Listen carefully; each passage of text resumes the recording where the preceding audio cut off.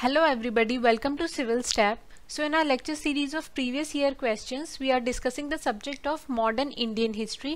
और आज हम एक डेवलपमेंट्स एंड ब्रिटिश रूल का जो टॉपिक है उसका पार्ट टू शुरू करने जा रहे हैं।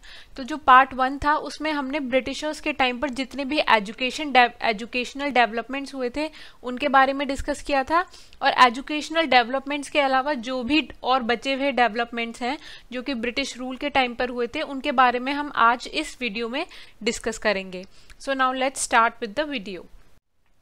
This question came in the prelims of 2009 और इस क्वेश्चन में हमारे पास दो स्टेटमेंट्स दिए हुए हैं और हमें बताना है कि which of the statements are correct तो पहला स्टेटमेंट है कि जो इंडिया की पहली टेलीग्राफ लाइन थी, वो कोलकाता और डायमंड हार्बर के बीच बिछाई गई थी और दूसरा स्टेटमेंट है कि इंडिया का जो पहला एक्सपोर्ट प्रोसेसिंग जोन था, वो कांडला में सेटअप किया गया था। तो इन दोनों स्टेटमेंट्स में से which of the statements are correct our option are one only two only both one and two and neither one और two now let's see what is the answer answer is option C that is ये दोनों जो है, ये दोनों ही जो statement हैं, वो करेक्ट हैं, यानी इंडिया की पहली टेलीग्राफ लाइन कोलकाता और डायमंड हार्बर के बीच लेट की गई थी, और इंडिया का पहला एक्सपोर्ट प्रोसेसिंग जोन जो है, वो कांडला में सेटअप किया गया था। Now let's know more about these events so so, जो लॉर्ड डलहौजी थे उन्होंने इम्पीरियल टेलीग्राफ डिपार्टमेंट बनाया था 1850 में और वहीं से ही इंडिया में जो टेलीग्राफ लाइन है उसको सेटअप करने की बात जो है वो वहीं से शुरू हुई थी। तो इंडिया की पहली telegraph line was opened in October 1851 ये इंपॉर्टेंट डेट है ध्यान रखनी है कि पहली टेलीग्राफ लाइन जो है वो 1851 में स्टार्ट की गई थी बिटवीन कैलकटा एंड डायमंड हार्बर जो कि बहुत ही ज़्यादा बिज़ी शिपिंग रूट है और वो कहाँ पर है? वो है हुगली रिवर पर, ठीक है?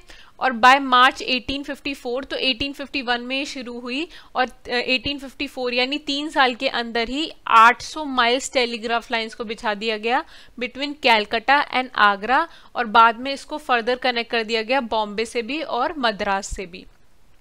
तो ये सब पूरी ये जो टेलीग्राफ लाइंस थी, ये इंडिया में ले की जा रही थी, लेकिन ओवरसीज जो टेलीग्राफ कम्युनिकेशन है, उसको स्टार्ट किया गया 1865 में by running cables along the sea bed so this was all about कि how telecommunication started in India in British India और अब हम बात करेंगे एक्सपोर्ट प्रोसेसिंग जोन की, जो हमसे क्वेश्चन में पूछा गया था कि तो इंडिया की जो पहला एक्सपोर्ट प्रोसेसिंग जोन है, वो कांडला में सेटअप किया गया था इन 1965 तो ये भी आपको ध्यान में रखना है।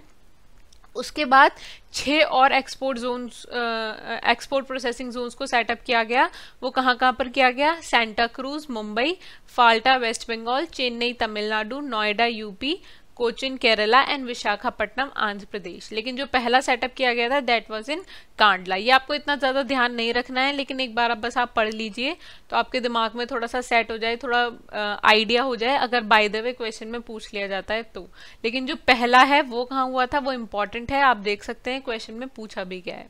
Okay so now let's move to our next question this question came in the prelims of 1999 और इसमें पूछा गया है कि ब्रिटिश रूल के टाइम पर इंडिया में Uh, कोई भी इंडिपेंडेंट डेवलपमेंट नहीं हुआ था इंडस्ट्रीज़ का। तो उसके पीछे रीजन क्या है? Absence of heavy industries scarcity of foreign capital scarcity of natural resources और preference of the rich to invest in land तो इंडस्ट्रीज़ का डेवलपमेंट ना होने की वजह से, कोई भी इंडिपेंडेंट डेवलपमेंट ना होने की वजह क्या है इनमें से? तो इनमें से कुछ ऑप्शंस को तो हम अपने आप ही एलिमिनेट कर सकते हैं कि जैसे जो नेचुरल रिसोर्सेज हैं, उसकी इंडिया में कोई भी स्कारसिटी नहीं थी। आप जानते हैं कि नेचुरल रिसोर्सेज की तो अबंडेंस है इंडिया में। तो जो सी है, वो तो आंसर नहीं हो सकता। साथ में जो रिच है उनकी लैंड में इन्वेस्ट करने की प्रेफरेंस हमेशा से थी। इंडिया में जो लैंड पे वर्क किया जाता है, वहीं से स्टार्टिंग हुई थी। यानी इंडिया जो है, वो एग्रेग्रियन सोसाइटी है। तो जो लैंड से कनेक्शन है रिच का, वो पहले से ही था तो डी भी आंसर नहीं हो सकता। ठीक है? अब हमारे पास या तो ए आंसर हो सकता है या फिर बी आंसर हो सकता है। So now let's see what is the answer answer is option A that is absence of heavy industries तो हमने देखा कि इंडिया में जो हैवी इंडस्ट्रीज़ थी हैवी गुड्स के लिए जो इंडस्ट्रीज़ थी, उनकी एब्सेंस थी और इसीलिए हमने इंडिपेंडेंस के बाद भी देखा कि जो सेकेंड फाइव ईयर प्लान था, जिसे महालो महालनोबीज प्लान प्लान भी बोलते हैं तो उसमें स्पेशल फोकस किया गया था हैवी इंडस्ट्रीज़ को डेवलप करने के लिए So, this was all about this question. Now, let's move to our next question. This question came in the prelims of 1995 और इस क्वेश्चन में हमारे पास चार पेयर्स दिए हुए हैं और हमें बताना है कि which of the pairs are not correctly matched तो ये जो नॉट करेक्टली मैच्ड वाले जो क्वेश्चन हैं, इससे बहुत सारे बच्चे कंफ्यूज हो जाते हैं एग्ज़ाम में तो करेक्टली मैच वाला टिक कराते हैं बट वो गलत है, आपको ध्यान देना है स्पेशली कि नॉट करेक्टली पूछा है या करेक्टली पूछा है, ठीक है? तो पहला पेयर है जमुना लाल बजाज, सत्याग्रह आश्रम एट वर्धा। दूसरा है दादा भाई नेहरू जी, बॉम्बे एसोसिएशन तीसरा है Lala Lajpat Rai national school at Lahore और चौथा है बाल गंगाधर तिलक, सत्य शोधक सभा। तो इन चारों में से हमने अभी तक सिर्फ़ दादा भाई नेहरू जी के बारे में पढ़ा था स्ट्रगल फॉर स्वराज में आई गेस और वहाँ पर हमने देखा कि जो दादा भाई नेहरू जी थे, उन्होंने बॉम्बे एसोसिएशन का फॉर्मेशन किया था। तो ये वाला जो पेयर है, ये तो करेक्टली मैच्ड है तो बी आंसर नहीं हो सकता। तो now we are remain with E A C और D now let's see what is the answer answer is option D that is Bal Gangadhar Tilak is not correctly match to Satya Shodhak Sabha ठीक है? तो अब हम देखते हैं इन सब के बारे में कि वाई दीज आर करेक्ट तो जो सत्य शोधक समाज था, जिसे ट्रुथ सीकर सोसाइटी के नाम से भी जानते हैं it was a social reform society तो ये सोशल रिफॉर्म्स के लिए इसको सेटअप किया गया था। ये आपको ध्यान रखना है कि सत्य शोधक समाज किस चीज़ से रिलेटेड था? तो वो सोशल रिफॉर्म से रिलेटेड था and it was founded by Jyotiba Phule. तो हमसे क्वेश्चन में बाल गंगाधर तिलक मेंशन था, जो कि गलत है, क्योंकि it was founded by Jyotiba Phule in Pune on twenty fourth September 1873 तो 1873 को ये इस्टेब्लिश किया गया था पुणे में बाय ज्योतिबा फूले। और इसका मेन पर्पज़ क्या था? कि जो जो भी लेस प्रिविलेज लोग थे सोसाइटी में, उनको लिबरेट कराना। तो लेस प्रिविलेज उस टाइम पर कौन थे? जैसे विमेन हैं, शूद्र हैं, दलित हैं तो उनको एक्सप्लॉयटेशन और उन पर ऑपरेशन जो किया जाता था, उस सबसे उनको लिबरेट कराना है, जो भी लेस प्रिविलेज सेक्शन है सोसाइटी का। और जो विमेन सेक्शन था इस सोसाइटी का, उसकी जो हेड थी वो ज्योतिबा फूले की वाइफ थी, जिनका नाम था सावित्री बाई। तो अगर क्वेश्चन पूछा जाता है कि सत्य शोधक समाज से कौन कौन रिलेटेड थे तो it was Jyotiba Phule and Savitri Bai. Now let's move to Sabarmati Ashram तो जो हमसे क्वेश्चन में पूछा गया था कि जमुना लाल बजाज जो है, वो आश्रम ऑफ़ वर्धा से रिलेटेड है या नहीं? तो जो साबरमती आश्रम था गांधी जी का, उसको गवर्नमेंट ने सीज कर दिया था क्योंकि गांधी जी ने साबरमती आश्रम से अपना सॉल्ट सत्याग्रह स्टार्ट किया था, जिससे सिविल डिसोबीडियंस मूवमेंट की स्टार्टिंग हुई थी। तो जब उसको सीज कर लिया गया तो गांधी जी ने एक नया आश्रम सेटअप किया कहाँ पर? सेवाग्राम में, जो कि वर्धा के पास है, महाराष्ट्र में। आपको ध्यान रखना है, सेवाग्राम में, वर्धा के पास, महाराष्ट्र में। और यही गांधी जी के जो है हेडक्वार्टर्स बना। और जो सेठ जमुनालाल बजाज जो थे, वो गांधी जी के डिसाइपल थे। और उन्होंने ही इस आश्रम के लिए 300 एकड़ ज़मीन जो है वो दी थी। That's how Jamnalal Bajaj is related to this ashram. और let's move to Bombay association तो ये बॉम्बे प्रेसिडेंसी की पहली पॉलिटिकल एसोसिएशन थी। ये आपको ध्यान रखना है क्योंकि जो दादा भाई नेहरू जी थे, वो लिबरल थे। तो वो जितना भी जितने भी उनकी कंट्रीब्यूशन है इंडियन पॉलिटिक्स में, वो सारे लेजिस्लेटिव मीन्स हैं। यानी ब्रिटिशर्स के अगेंस्ट जाके नहीं है। जो रूल्स एंड रेगुलेशंस हैं, उन्हीं में ही लिमिटेड होके उन्होंने सारा कंट्रीब्यूशन किया था। तो ये एक पॉलिटिकल एसोसिएशन थी, जो कि दादा भाई नेहरू जी ने शुरू करी थी 1852 में। और इसका पर्पस क्या था? कि जो भी लोगों की ग्रीवेंसेस थी अगेंस्ट द ब्रिटिशर्स उसको ब्रिटिशर्स को एक्सप्रेस करने के लिए इस ऑर्गेनाइजेशन को, और यू कैन से इस एसोसिएशन को सेटअप किया गया।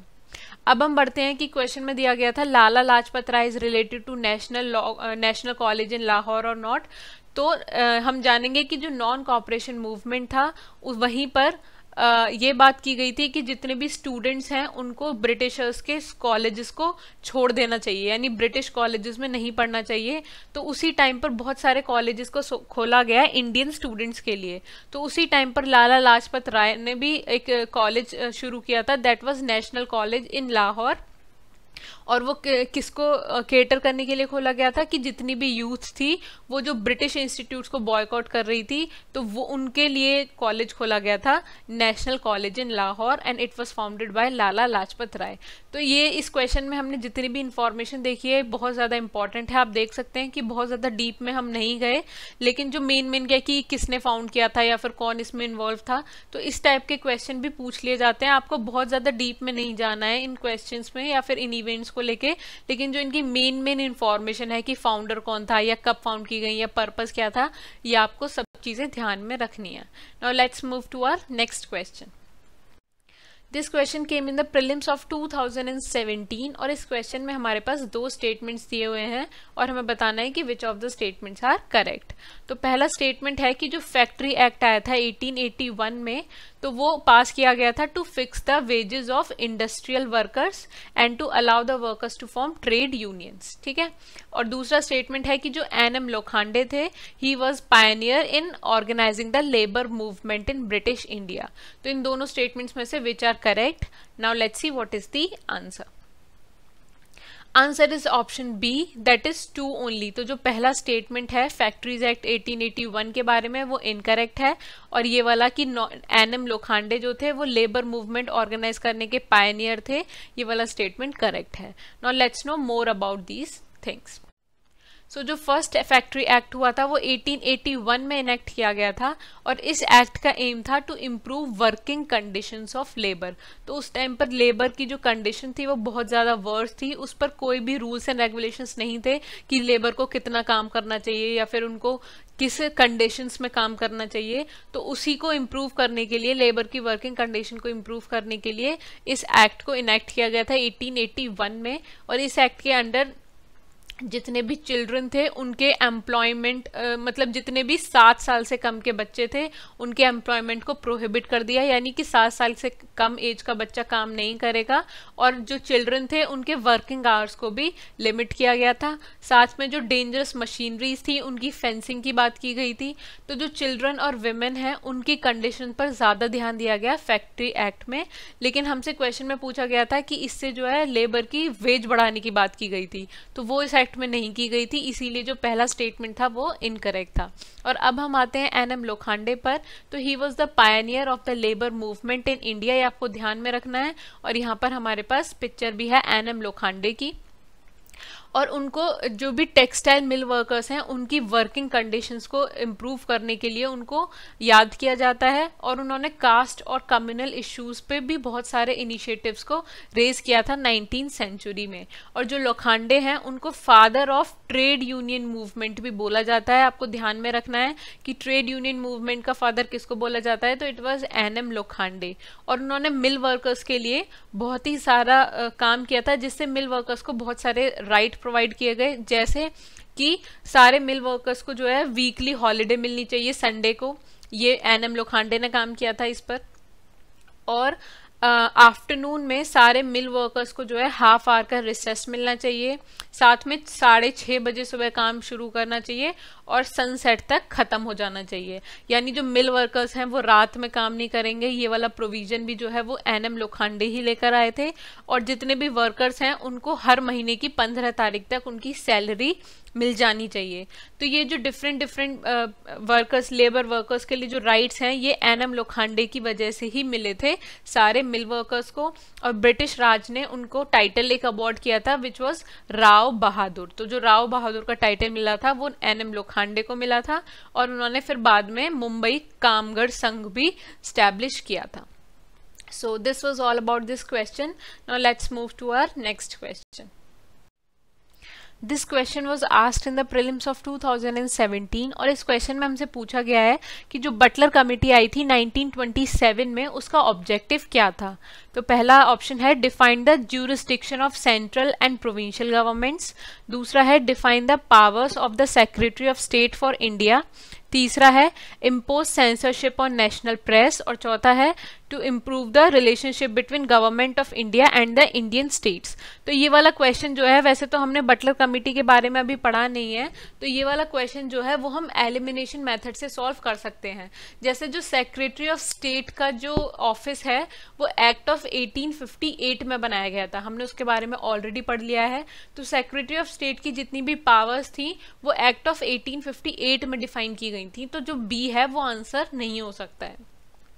उसके बाद जो नेशनल प्रेस है, उस पर सेंसरशिप जो इम्पोज की गई थी, वो वर्नेकुलर प्रेस एक्ट के अंडर इम्पोज की गई थी, इसलिए सी भी हमारा आंसर नहीं हो सकता है।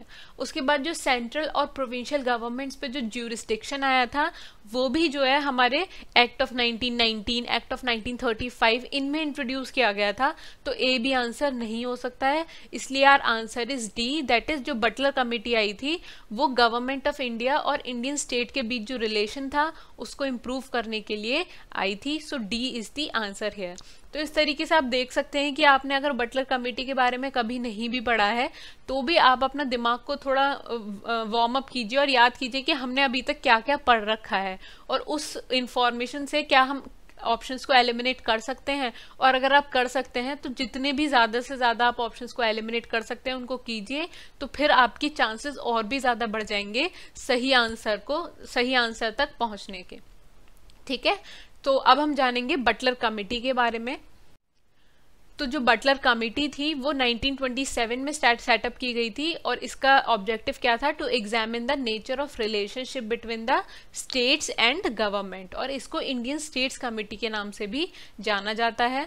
और इसी का जो इस कमेटी का जो फॉर्मेशन हुआ था, वो इस ऑब्जेक्टिव के साथ हुआ था कि इंडियन स्टेट्स और जो पैरामाउंट पावर यानी जो गवर्नमेंट थी, उनके बीच क्या रिलेशन है, उसको इंक्वायरी करने के लिए और उनके जो एग्जिस्टिंग रिलेशन है, उसको किस तरीके से इम्प्रूव किया जाए तो उसके लिए क्या क्या तरीके हो सकते हैं, वो सब सजेस्ट करने के लिए इस कमेटी को बनाया गया था। और इस कमेटी की जो रिकमेंडेशन थी, वो हम जान लेते हैं कि जो पैरामाउंसी है यानी जो ब्रिटिश क्राउन है, वो सुप्रीम रहेगा, यानी उसके ऊपर किसी की पावर नहीं होगी। लेकिन जो स्टेट्स हैं, वो जिस तरीके से प्रोग्रेसिव डेवलपमेंट करेंगे तो टाइम और डेवलपमेंट के साथ जो उनकी नेसेसिटीज़ में शिफ्ट होगा, जो चेंज होगा तो उस सबको जो है वो पैरामाउंसी जो ब्रिटिश क्राउन है, वो अडॉप्ट करेगा और साथ में उसके साथ साथ जो भी उनकी ऑब्लिगेशन चेंज होंगी, उनको भी वो फुलफिल करेगा। तो एक रिकमेंडेशन जो था, वो बटलर कमेटी का ये था और दूसरा है कि जो स्टेट्स हैं, वो क्राउन के साथ ट्रीटीज़ में बाउंड है। तो यानी जो रूलर है, जो क्राउन है, उसके बिना परमिशन के जो है किसी भी स्टेट को इंडियन गवर्नमेंट को नहीं दिया जा सकता। यानी जो ब्रिटिश गवर्नमेंट उस टाइम पर आ, जो ब्रिटिश गवर्नमेंट उस टाइम पर इंडिया में रूल कर रही थी, उसको नहीं दिया जाएगा कोई भी स्टेट की पावर बिना रूलर की प्रायर कंसेंट के, बिना रूलर की सहमति के। तो ये भी एक डिस्कस किया गया और साथ में जो क्राउन का एजेंट है स्टेट से डील करने के लिए, वो गवर्नर जनरल इन काउंसिल नहीं है, बल्कि वो वाइस रॉय है। तो जो वाइस रॉय है, वो है क्राउन का agent to deal with the states तो ये जो है तीन मेन रिकमेंडेशन थी बटलर कमिटी की to improve the relationship between states and government and here we have the picture of Harcourt Butler जो इस कमिटी के हेड थे इन्हीं की चेयरमैनशिप के अंडर इस कमिटी को बनाया गया था। Now let's move forward to our next question this question came in the prelims of 2003 और इस क्वेश्चन में पूछा गया है कि कॉलोनियल पीरियड के ड्यूरिंग uh, एक विटले कमीशन बनाई गई थी। तो उस कमीशन का जो है पर्पस क्या था? तो पहला है to review the fitness of India for further political reforms दूसरा है to report on existing conditions of labour and to make recommendations तीसरा है to draw up a plan for financial reforms for India और चौथा है to develop a comprehensive scheme for civil services in India so now let's see what is the answer answer is option B that is जो उस time पर labour की conditions थी, उस पर रिपोर्ट करने के लिए इस विटले कमीशन को बनाया गया था और उन कंडीशंस को कैसे इम्प्रूव किया जा सकता है, उस पर रिकमेंडेशंस के लिए भी इस कमीशन को बनाया गया था। तो अब हम और भी जानते हैं विटले कमीशन के बारे में। तो जो विटले कमीशन है, जिसे विटले कमीशन ऑन लेबर भी बोलते हैं it was set up in 1929 to inquire into the existing conditions of labour in industrial undertakings and plantation in India और ये जो कमीशन थी, इसके चेयरमैन थे जॉन हेनरी विटले और उनकी हमारे पास यहाँ पर पिक्चर भी है। और ये जो कमीशन है, इन, इसने अपनी रिपोर्ट जो सबमिट की थी, वो 1931 में की गई थी। तो यहाँ पर आपको कंफ्यूज नहीं होना है, क्योंकि किसी क्वेश्चन में 1931 मेंशन होगा, किसी में 1929 तो 1929 में इसको सेटअप किया गया था, लेकिन इसने अपनी जो रिपोर्ट सबमिट की थी, वो 1931 में की थी। ठीक है? और इसी कमीशन के अंडर जो मेंबर्स थे, उन्होंने ब्रिटिश की ब्रिटिश जो एम्प्लॉयज़ थे, जो इंडिया को इंडिया के वर्कर्स को काम देते थे एम्प्लॉयर्स उनको भी क्रिटिसाइज किया कि जो ब्रिटिश एम्प्लॉयर्स हैं, उनका भी बहुत बड़ा रोल है, जिसकी वजह से इंडिया जो है, वो पावर्टी की प्रॉब्लम से लड़ रही है। ठीक है? और इसी के लिए royal commission on labour in 1931 जो थी, उन्होंने भी पॉइंट आउट किया कि एक सिस्टमैटिक कलेक्शन होना चाहिए लेबर स्टैटिस्टिक्स का। यानी जितनी कितनी लेबर काम कर रही है, वो कितने दिन, वो एक दिन में कितने घंटे काम करती है, कितने दिन उनको ऑफ़ मिलता है, और कित, कितने मैन हैं, कितने चिल्ड्रन हैं, कितनी वेमेन हैं तो उस तरीके से लेबर के बारे में जितनी भी स्टैटिस्टिक्स हैं, उनका सिस्टमैटिक कलेक्शन होना चाहिए, और जो भी पॉलिसी फिर ब्रिटिश गवर्नमेंट बनाए लेबर के कंसर्न में, वो सारे उन फैक्ट्स के बेस पे होनी चाहिए। तो ये बहुत ही अच्छा सजेशन था, क्योंकि इससे पहले जो ब्रिटिश गवर्नमेंट है, वो लेबर के लिए जो भी रूल्स बनाती थी तो वो लेबर के बेनिफिश लेबर के लिए बेनिफिशियल नहीं होते थे, क्योंकि जो उनकी डिमांड्स हैं, जो उनकी नीड्स हैं, वो उससे मैच नहीं कर पाते थे। तो उन्होंने ये सजेशन दिया कि जो फैक्ट्स हैं, जो स्टैटिस्टिक्स है, उसके हिसाब से जो है पॉलिसी बनानी चाहिए सो so दैट जो कन्फ्यूज़न होता है और जो कन्फ्लिक्ट होता है कि हम एम कुछ और था, लेकिन वो एम पूरा नहीं हो पाता, या फिर कुछ और एम पे लग जाते हैं तो ये जो कन्फ्लिक्ट है, एम का, ये भी ख़त्म हो जाएगा। और साथ में उन्होंने ये भी रेकमेंड किया कि एक सूटेबल लेजिस्लेशन बनाना चाहिए, जो कि कॉम्पिटेंट अथॉरिटी जो भी होगी, उसको इंफॉर्मेशन कलेक्ट करने के लिए ऑथराइज कर दे regarding the living working and social economic condition of industrial labour तो ये सारे जो है बहुत ही अच्छे रिकमेंडेशन दिए गए थे to improve the condition of labour in India और ये सब विटले कमीशन के अंडर दिए गए थे, जिसके हेड थे John Henry Whitley So, this was all about this question. Now, let's move to our next question. This question came in the prelims of 2017 और इस क्वेश्चन में पूछा गया है कि जो 1929 में ट्रेड डिस्प्यूट्स एक्ट आया था तो उस एक्ट में क्या प्रोवाइड किया गया था तो हमारे पास ऑप्शंस हैं पहला है the participation of workers in the management of industries दूसरा है arbitrary powers to the management to quell industrial disputes तीसरा है an intervention by the British courts in the event of a trade dispute और चौथा है a system of tribunals and a ban on strikes so now let's see what is the answer answer is option D that is tribunals के system को setup करने के लिए और strikes को बैन करने का जो प्रोविज़न आया था, वो ट्रेड डिस्प्यूट्स एक्ट में आया था, जो कि 1929 में इनैक्ट किया गया था। तो अब हम और जानते हैं ट्रेड डिस्प्यूट्स एक्ट के बारे में। तो जो फ़र्स्ट वर्ल्ड वॉर से पहले जो है, कोई भी इंडस्ट्रीज़ में कोई भी स्ट्राइक्स नहीं होती थी. It was a rare phenomena लेकिन 1920 के बाद जो है बहुत सारी स्ट्राइक्स जो हैं, वो होने लग गई इन वायलेंट फॉर्म्स और इसी वजह और जैसे इसमें से बहुत ज़्यादा जो इंपॉर्टेंट है, जो बहुत ज़्यादा फ़ेमस भी हुई थी, वो हुई थी 1924 में जनरल मिल स्ट्राइक तो जो स्ट्राइक की फिनोमेना है, वो फ़र्स्ट वर्ल्ड वॉर के बाद बहुत ज़्यादा इंक्रीज हो गई थी. तो अब हम जानते हैं कि ऐसा क्यों हुआ? तो फ़र्स्ट वर्ल्ड वॉर के बाद हमने देखा कि जितनी भी इंडिया की पॉपुलेशन थी, वो मेजॉरिटी ऑफ़ द पॉपुलेशन जो है फ़र्स्ट वर्ल्ड वॉर में इन्वॉल्व हुई थी। तो इसी की वजह से जो इंडिया का प्रोडक्शन था, वो बहुत ज़्यादा डाउन चला गया था और जो फ़ूड के प्राइसेस हैं, और भी चीज़ों के जो प्राइसेस हैं, वो बहुत ज़्यादा इंक्रीज हो गए थे। ठीक है? और ब्रिटिशर्स का जितना भी खर्चा हुआ था वॉर में, उसको भी वो टैक्स बढ़ा के जो है इंडियन से ही लेना चाहते थे। तो ये सारी सिचुएशंस की वजह से जो है वर्कर्स और लेबर्स जो है, उनकी कंडीशन बहुत ही ज़्यादा वर्स हो गई थी। और इसी की वजह से वो बार बार स्ट्राइक्स पर जाने लगे। तो इस टाइम पर बहुत ज़्यादा स्ट्राइक्स की फिनोमेना हो गई थी। तो इंडस्ट्रियल डिस्प्यूट्स को किस तरीके से पीसफुली सेटलमेंट किया जाए, इसीलिए इस एक्ट को इनेक्ट किया गया था। तो इस एक्ट का जो प्रिंसिपल ऑब्जेक्टिव है वो ये था कि कंसिलेशन मशीनरी बनाई जाए, जिससे कि इंडस्ट्रियल डिस्प्यूट्स का पीसफुली सेटलमेंट किया जाए। और इस एक्ट ने ऑथोराइज किया सेंट्रल और स्टेट गवर्नमेंट्स को कि एक बोर्ड ऑफ़ कंसिलेशन को इस्टेब्लिश किया जाए to investigate into and settle industrial disputes और साथ ही इसमें ट्रिब्यूनल्स को सेटअप करने की बात की गई एड हॉक बेसिस पे। और इस एक्ट के अंडर जो स्ट्राइक्स हैं और लॉकआउट जो करते थे पब्लिक यूटिलिटी सर्विसेज़ को, उनको प्रोहिबिट कर दिया कि अगर बिना किसी प्रायर नोटिस के स्ट्राइक की जाती है या फिर किसी पब्लिक यूटिलिटी सर्विस को लॉकआउट किया जाता है तो वो जो है इलीगल इलीगल है एंड पनिशेबल है अंडर द एक्ट तो इनको प्रोहिबिट uh, कर दिया गया। और इंडस्ट्रियल डिस्प्यूट के अलावा अगर किसी और पर्पज के लिए स्ट्राइक की जाती है तो उसको भी इलीगल डिक्लेयर कर दिया गया। लेकिन जो इंडस्ट्रियल डिस्प्यूट्स हैं, वो इस एक्ट के बाद भी उनका कुछ मतलब सोल्यूशन नहीं निकला। दिस एक्ट वाज इनएडिक्वेट तो इसीलिए फिर 1948 में एक इंडस्ट्रियल डिस्प्यूट्स एक्ट आया था और उसी एक्ट ने इस 1929 वाले एक्ट को रिपील किया, कर दिया था और उस एक्ट को रिप्लेस कर दिया था।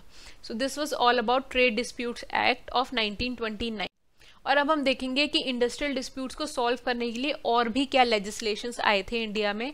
तो जो पहला लेजिस्लेशन आया था वो 1869 में आया था and that was known as employers and workmen's disputes act तो पहला लेजिस्लेशन था ये to solve industrial disputes in India और दूसरा आया ट्रेड डिस्प्यूट्स एक्ट 1929 में जिसके बारे में हमने अभी पढ़ा है और ये भी जब सफाइस नहीं कर पाया यानी ये भी जो इंडस्ट्रियल डिस्प्यूट्स को सॉल्व नहीं कर पाया तो उसी के लिए फिर 1948 में और या फिर 7 में इंडस्ट्रियल डिस्प्यूट्स एक्ट आया था So these was all the, these were all the legislations for solving the industrial disputes in India and now let's move to our next question.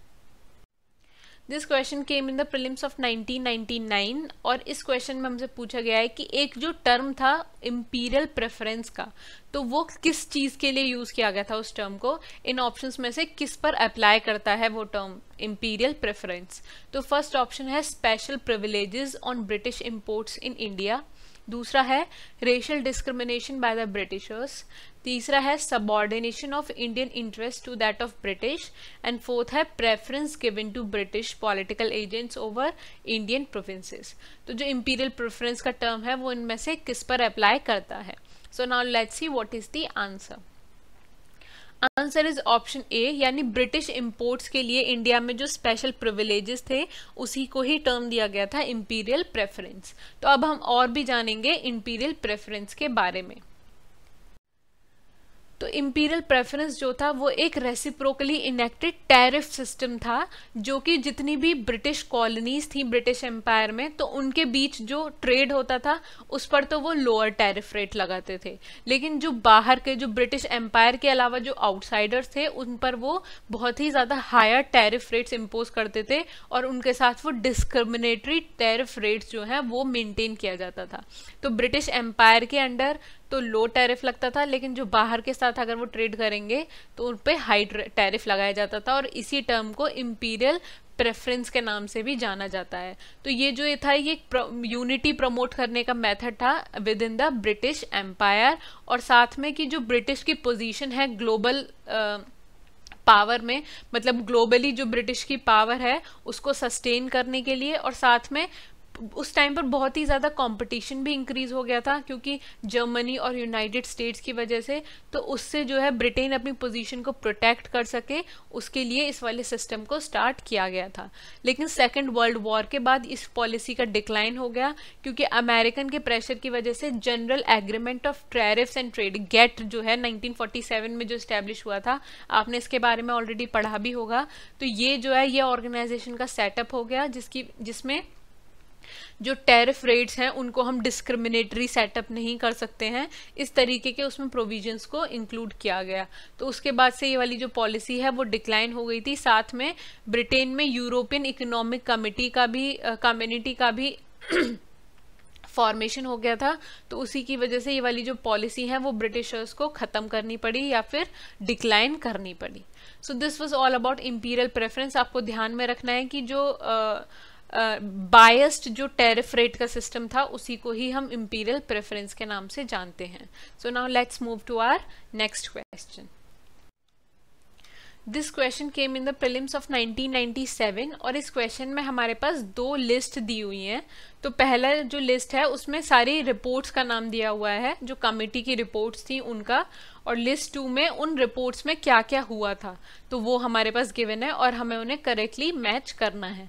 तो जो हमारे पास रिपोर्ट्स हैं वो हैं Butler committee report Hartog committee report Hunter inquiry committee report और Muddiman committee report और जो list to है, वहाँ पर है Jallianwala Bagh massacre relationship between the Indian state and the paramount power working of dyarchy as laid down in the Montagu केल्म्स for reforms और the growth of education in British India and potentialities of its further progress तो इन चारों report में से हमने दो reports के बारे में ऑलरेडी पढ़ रखा है। जैसे बटलर कमेटी जो है, जो हरकोट बटलर के चेयरमैनशिप में स्टैब्लिश की गई थी, उसके बारे में तो हमने इसी वीडियो में पढ़ा और उसमें हमने देखा कि जो इंडियन स्टेट है और पैरामाउंट पावर यानी जो क्राउन है उसके बीच रिलेशनशिप को कैसे इम्प्रूव किया जाए, इसलिए इस कमीशन को सेटअप किया गया था। तो जो हमारा फ़र्स्ट है बटलर कमिटी ए ऑप्शन जो है, वो टू के साथ मैच होगा।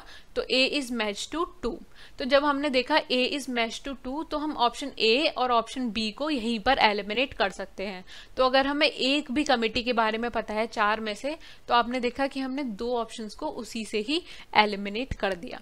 ठीक है? तो अब हमारे पास बचे हैं सी और डी तो अब हम एक और कमेटी के बारे में जानते हैं, वो है हंटर इंक्वायरी कमेटी रिपोर्ट तो जब हमने जलियावाला बाग मैसेकर के बारे में पढ़ा था तो वहीं पर ही हमने इस कमेटी के बारे में पढ़ा और हमने देखा था कि जलियावाला बाग मैसेकर जो हुआ था, उसके बारे में इंक्वायरी करने के लिए कि किस वजह से हुआ था, क्या वहाँ पे कंडीशंस थी। तो उसके लिए एक हंटर इंक्वायरी कमेटी रिपोर्ट को सेटअप किया गया था। तो जो हमारा सी है that is match to one तो C is match to one और A is match to two इसलिए हमने हमें दो पता है उसी से ही हमने डिड्यूस कर लिया कि हमारा जो आंसर है वो D है where A is match to two and C is match to one so answer is D here so so, अब हम जो दो कमिटी हैं जो हार्टॉक कमिटी और मुडिमन कमिटी है उनके बारे में हमने और नहीं पढ़ा हुआ है. So now let's read about them तो जो हर्ट हॉक कमेटी आई थी, इस कमेटी को अपॉइंट किया गया था to survey the growth of education in British India तो आपको ध्यान में रखना है क्योंकि ये सबसे ज़्यादा पूछा जाता है कि हर्ट हॉक कमेटी जो है, वो किस चीज़ से रिलेटेड थी? तो ये है कि ब्रिटिश इंडिया में एजुकेशन की ग्रोथ से रिलेटेड जो सर्वे करनी थी, उसी के लिए इस कमेटी को अपॉइंट किया गया था। और ये जो कमेटी है, इसने मास अटेंशन पर बहुत ज़्यादा फोकस किया। यानी इससे पहले जितनी भी कमिटीज़ आई थी एजुकेशन पर, वो सेकेंडरी और यूनिवर्सिटी यूनिवर्सिटी एजुकेशन पर ध्यान देती थी, लेकिन जो हर्ट ऑफ़ कमेटी है, उसने पहली बार जो मास एजुकेशन पर बहुत ज़्यादा फोकस किया और उन्होंने ये इस प्रॉब्लम को हाईलाइट भी किया कि इंडिया पर जो प्राइमरी लेवल पर एजुकेशन है, उसमें बहुत ही ज़्यादा कमी है लिटरेसी की और वहाँ पर वेस्टेज और स्टैगनेशन की भी प्रॉब्लम है। 1929 में इस कमेटी ने अपनी रिपोर्ट को सबमिट किया था और इसमें कंक्लूजन आया कि जो 100 बच्चे थे, एक क्लास में 1922-23 में क्लास फ़र्स्ट में 100 बच्चे जो थे तो 1925-26 तक, यानी जब वो बच्चे फ़र्स्ट से फोर्थ में पहुँच गए तो वहाँ पर सिर्फ़ 18 बच्चे जो हैं, वो ही सिर्फ़ रीड कर पाते थे, ठीक है? तो इससे पता चला कि सौ में से सिर्फ़ 18 बच्चे रीड कर पा रहे हैं फोर्थ क्लास में पहुँच तो इससे जो है इलिटरेसी जो थी प्राइमरी लेवल पर, उसको हाईलाइट किया गया इस प्रॉब्लम को, और प्राइमरी एजुकेशन में क्या क्या इम्प्रूवमेंट किए जाएँ इसके भी बहुत सारे इंपॉर्टेंट मेजर्स जो हैं वो प्रोवाइड किए गए थे हार्ट हॉक कमेटी में।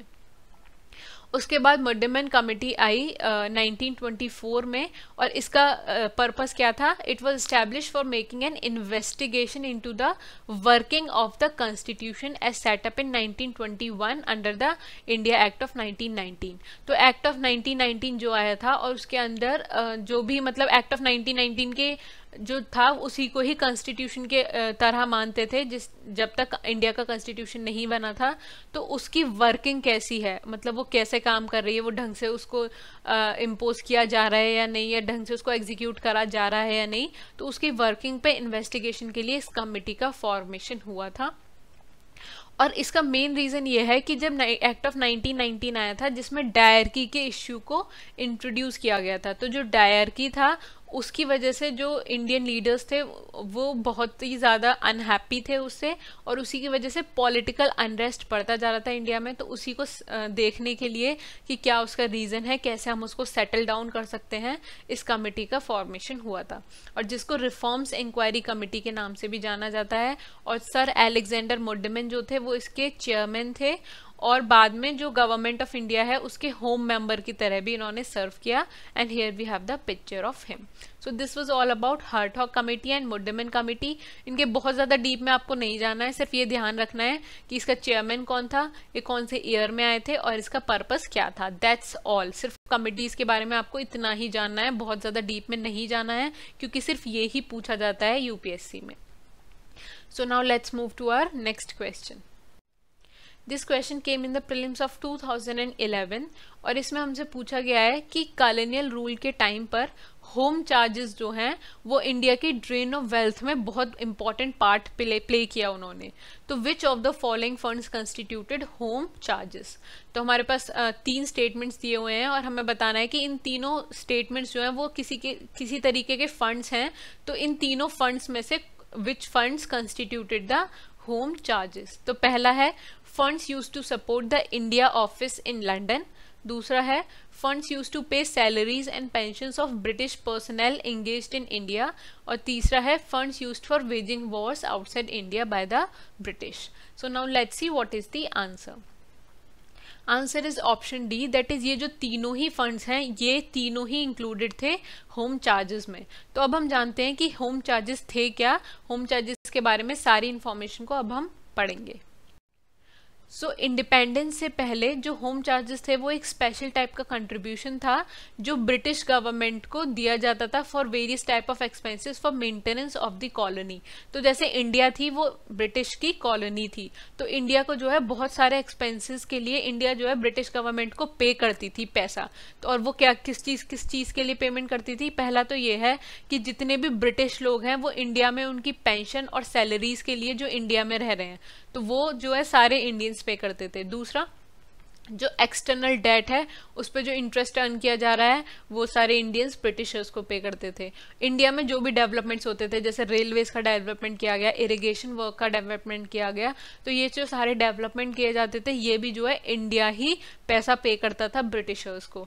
साथ में जो ब्रिटिश ट्रूप्स थे, उनके इफ़ेक्टिव और नॉन इफ़ेक्टिव सर्विसेज़ के लिए जो है, उसके लिए भी इंडिया पैसा पे करता था और जितने भी सिविल और मिलिट्री ऑफिसर्स थे और जो सर्वेंट्स थे और और भी जो खर्चा किया जाता था इन पर, उसके लिए जो पे करते थे, वो भी इंडियंस करते थे। और ये सारी चीज़ों को हमने होम चार्जेस के नाम से जाना। तो हमसे क्वेश्चन में पूछा गया था कि जो ब्रिटिशर्स और मिलिट्री ऑफिसर्स हैं, उनकी पे के लिए या फिर इंटरेस्ट के लिए पेंशन एंड सैलरीज के लिए तो ये सारे जो हैं, वो सारे करेक्ट स्टेटमेंट थे क्योंकि these all were constituted to make home charges तो ये बहुत इंपॉर्टेंट टर्म है कि आपको ध्यान में रखना है, ठीक है? So guys this was all about this video यहाँ पर हमने ब्रिटिशर्स के रूल के टाइम पर जितने भी डेवलपमेंट्स हुए थे, उन सभी के बारे में हमने पढ़ लिया है। So thank you so much guys अगर आपको ऐसी ही डेली मोर अपडेट्स चाहिए तो you can subscribe to our Telegram channel और अगर आपको कोई क्वेरी है तो you can mail us to hello at civil step dot com so this was all about the topic developments under British rule और अगली वीडियो में हम एक नया टॉपिक शुरू करेंगे. Till then good luck for your studies bye